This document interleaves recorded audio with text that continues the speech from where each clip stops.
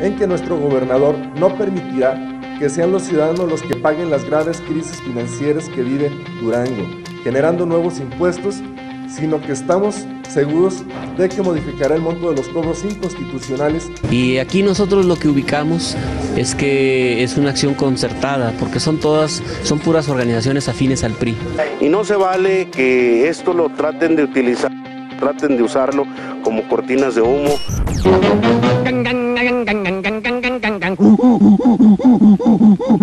El dirigente del Frente Cívico del Guadiana, Wenceslao Reyes, se revela con todo y el frente, el cívico, pero no contra todo el gobierno, no, contra un pedacito. El gobernador tiene demasiada paciencia para escuchar a la gente.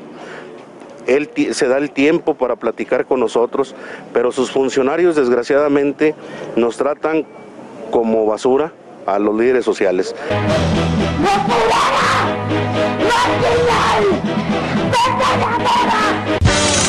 Así de plano, así como, como basura. Y dijo el subsecretario de Desarrollo Social, Arturo López Bueno. Dijo, bueno, pero qué afán. No es cierto.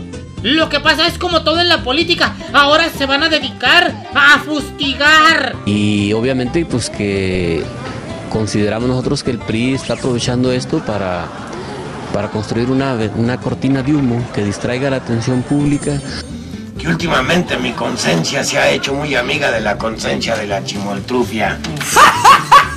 Bueno, ¿y qué esperábamos? Pues son los cambios. Hay que darle tiempo al tiempo, dijo el secretario del PRD, Miguel Ángel Azalde. Lo que no se compuso en chorrotal de años, lo quieren componer en un mes.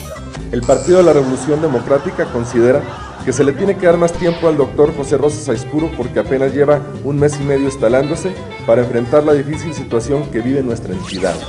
Lo siento, pero no tengo tiempo que perder. Pero tampoco crean que Miguel Ángel Lazalde le va a dar todo el tiempo del mundo, ¿eh? No, tampoco. Se tiene que poner al tiro con el mero presidente de la República, Peña Nieto. Pues, ¿cómo?